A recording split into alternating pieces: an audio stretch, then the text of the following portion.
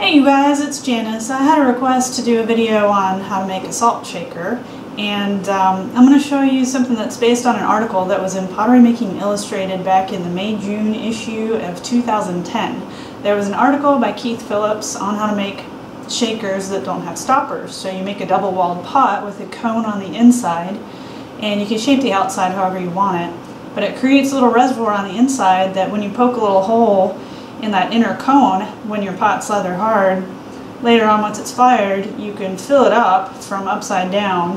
And then when you shake it, the particles that are in the reservoir on the inside just come up and come out the little hole in the top, or top of the inner cone, and you got your, your shaker that way. So you can do them in different shapes. I've done several.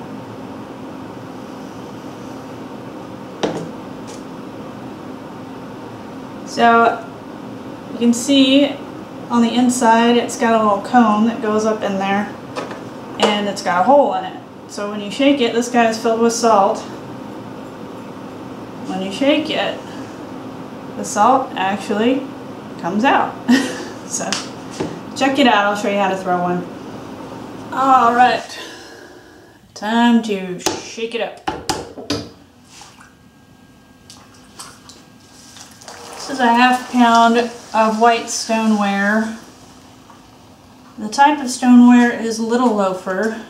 It's made by Highwater Clays based in Asheville, North Carolina. It's my favorite clay. This is a cone 6 stoneware body.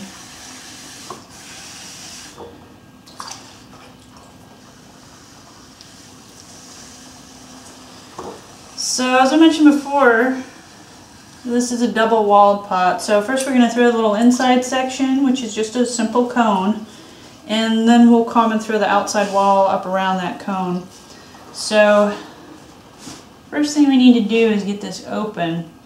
And it should be open all the way down to the bat, or the wheel head. This is where your salt or pepper is going to come out, and also where you'll fill it.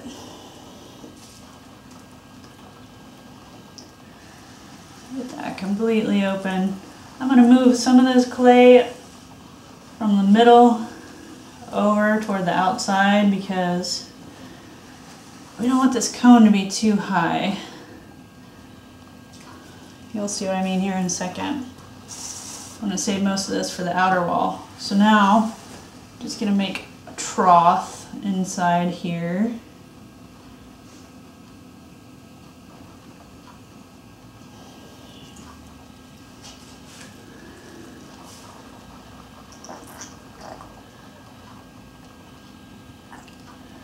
And the little center section, we're going to go ahead and pull into a cone.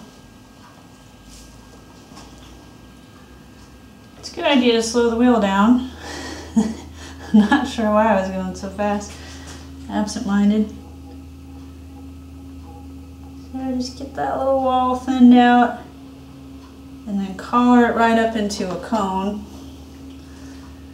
It's really convenient if you have a little tiny sponge on a stick at your disposal to get water out. So now, just collar this in until it's closed off.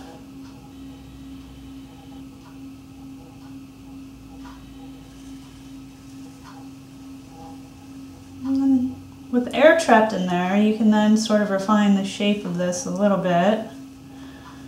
But essentially, cone shaped is good.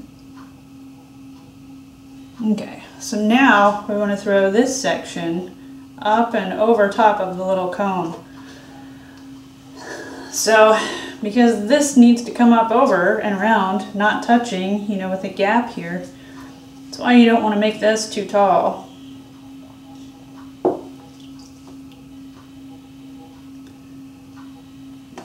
Don't want to let water sit in my trough here.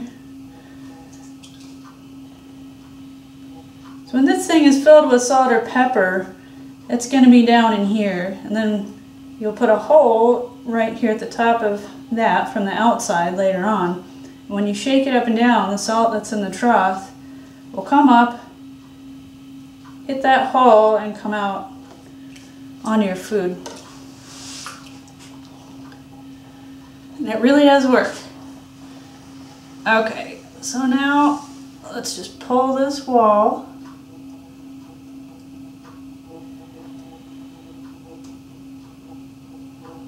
Bring it vertical, thin it out nicely, and then we'll close it right over top of that cone.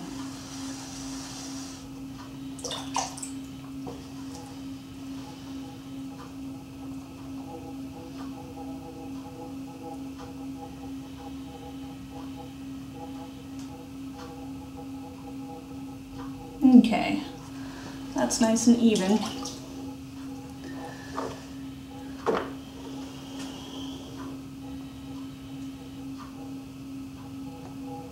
Got plenty of height so that at this point, when I collar it, it'll go over top of the cone on the inside. I'll just go ahead and collar this in.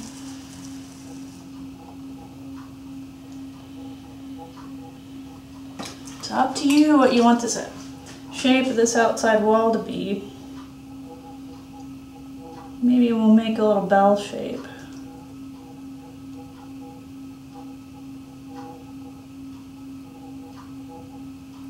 With a big knob on top to hold on to.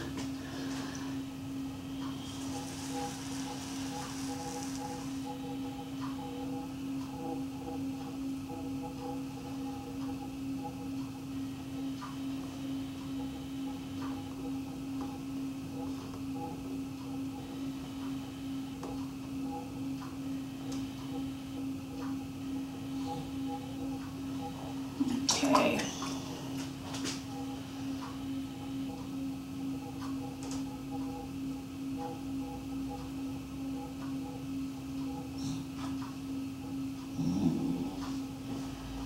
That's my dog in the background, grumbling.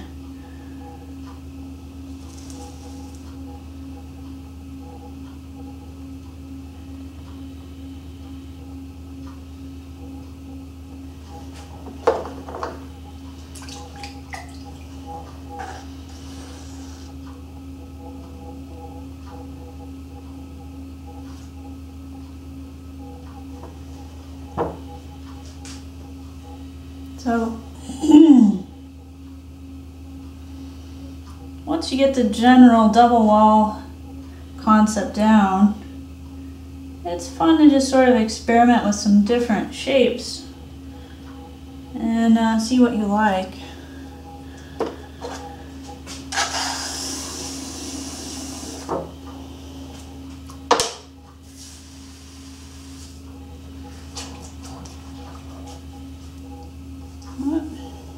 That's that.